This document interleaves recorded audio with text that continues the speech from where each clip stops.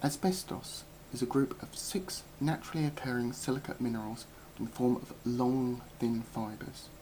These fibres have slightly different properties and normally identified by their individual colours.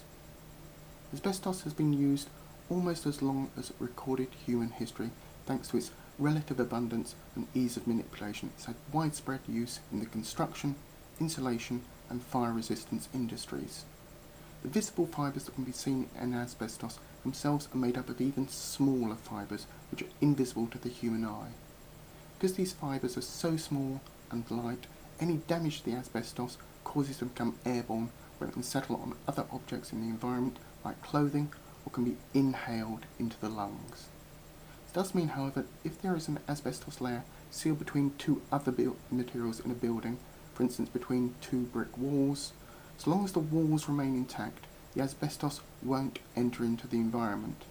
However, an old building with asbestos inside it is renovated or demolished, this time that any asbestos contained in the building may be released into the environment. The other way that asbestos can be currently entered into the environment is through the actual production of these materials. Most Western countries have banned the mining and manufacture of asbestos due to the risk it poses to human health.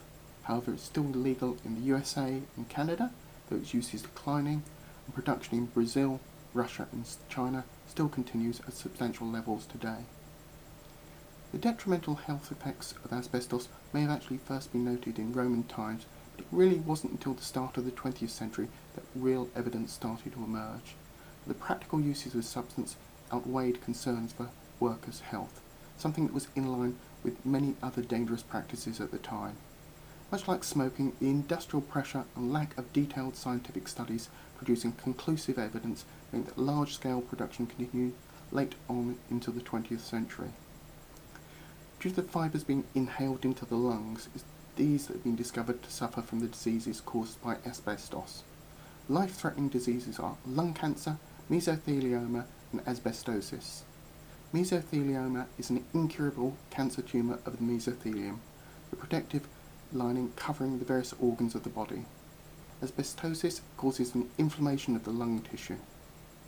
These diseases and other asbestos-related diseases cause significant breathing difficulties for the sufferer, meaning they suffer long periods of painful debilitation, often needing artificial supplies of oxygen and other uh, assistance to survive, normally rendering them incapable of working. Part of the issue with asbestos is that the fibres are so small they get wedged deep within the lungs are impossible to remove. So someone who inhaled fibres may still develop symptoms decades after their exposure. The good news is that asbestos can be disposed of either by being put into a toxic landfill or actually by heating it to a very high temperature, which changes the nature of the substance, rendering it harmless. That's asbestos, a really useful product but whose health risks no longer make its use worthwhile.